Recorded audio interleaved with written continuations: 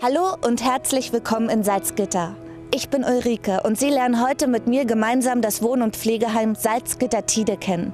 Neben mir steht Herr Brandt. Er ist der Einrichtungsleiter des Wohn- und Pflegeheims und wird uns bei unserem Rundgang begleiten. Guten Tag, Herr Brandt. Guten Tag, herzlich willkommen. Dann schlage ich vor, wir gehen hinein und sehen uns ein wenig um. Bitte. Das AWO Wohn- und Pflegeheim Salzgitter-Tide wurde 1974 erbaut und in den vergangenen Jahren umfassend saniert. In unserem Haus gibt es 55 Einzelzimmer und 49 Doppelzimmer. In der warmen Jahreszeit bietet unsere großzügige Gartenanlage mit dem Teich, dem Gemüsegarten, den Sitzecken und den Pavillons viel Platz zum Verweilen. Je nachdem, wie das Wetter ist, mal einen kleinen Spaziergang machen, mal so ein bisschen Tide erkunden. Fast alle Zimmer haben einen Balkon oder eine Terrasse. So können Sie jederzeit die frische Luft genießen. Die Zimmer verfügen über Sanitäranlagen. Ausreichende Bademöglichkeiten sind außerdem vorhanden. Wir bieten auch einige Einzelzimmer mit einer kleinen Einbauküche. Gerne können Sie die Zimmereinrichtung mit Ihren eigenen Möbeln ergänzen oder vorhandene Möbel austauschen. Ich habe meine Möbel mitgebracht. Couchgarnitur mit Sessel und den Schränkchen hier. Unser Küchenmeister und sein Team bringen immer wieder Abwechslung auf den Speiseplan.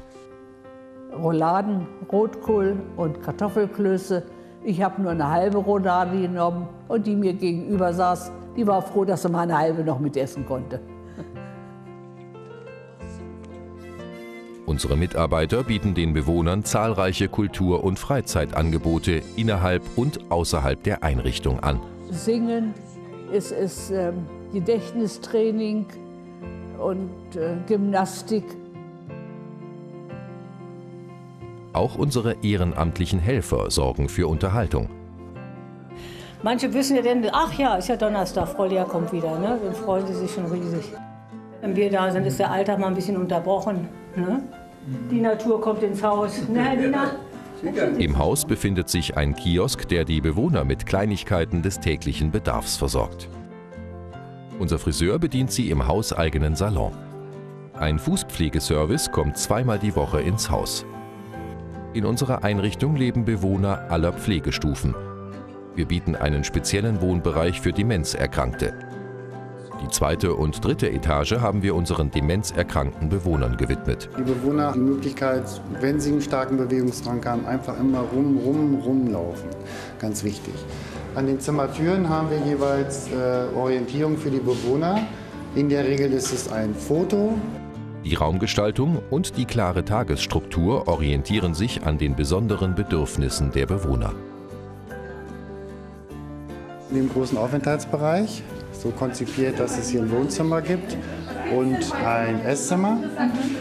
Alle Mitarbeiter auf diesem Wohnbereich werden speziell im Umgang mit Demenzerkrankten geschult. Und ältere Leute sind auch manchmal schwierig. Seit einigen Jahren haben wir ein Spielecafé und in naher Zukunft sollen Bingo, eine Koch- und eine Backgruppe folgen. Unsere ehrenamtlichen Helfer organisieren auch Filmvorträge und betreuen regelmäßig einzelne Bewohner. Ich bin froh, dass ich da bin, dass ich betreut werde. Wenn was ist, die Schwestern sind zur Hilfe. Ich bin zufrieden. Ich fühle mich wohl.